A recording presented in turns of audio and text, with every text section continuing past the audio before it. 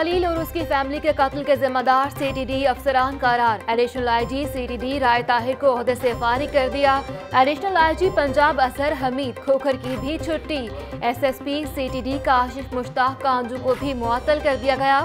گرفتار پانچ C T اہلکاروں کا کیس انسداد دہشت گردی عدالت بھجوانے کا فیصلہ۔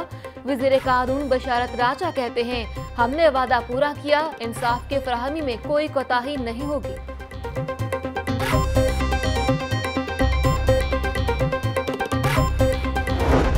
بدعنوانی اور ناقص کارکردگی والے افسران کی شامت آ گئی۔ پاکستان سٹیزن پورٹل پر موصول ہونے والی شکایت پر action.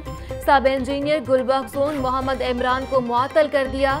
محمد عمران نے پاکستان سٹیزن پورٹل پر موصول ہونے والی شکایات کو بھی مسلسل نظر انداز کیا۔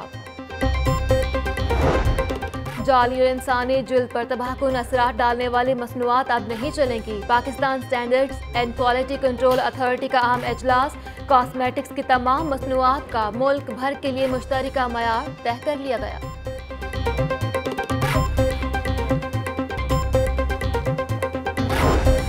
Metro orange train water connection کے لیے ٹیپا کی واسطہ سے استدا ٹیپا آٹھ لاکھ روپے واسطہ خزانے میں جمع کروائے گا۔ آرنج ٹرین اسٹیشنز کو کمرشل واٹر کنیکشن فراہم کیے جائیں گے۔ ڈیمانڈ نوٹس جاری۔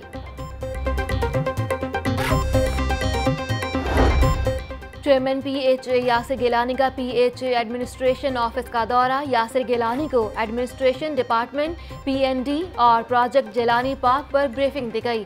ڈیسکون انجینئرنگ لمیٹڈ کے وفد کا واسع ہیڈ آفس کا دورہ۔ مہمانوں کی ایم ڈی زاہد عزیز سے ملاقات۔ واٹر سیکٹر میں کام کرنے میں دلچسپی کا اظہار۔